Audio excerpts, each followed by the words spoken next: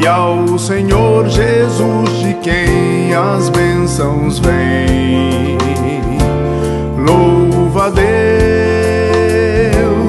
louva a Deus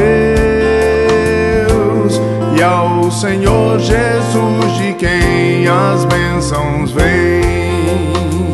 Se o coração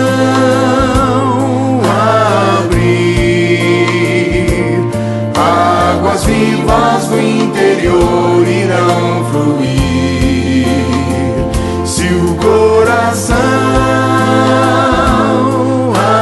abrir, águas vivas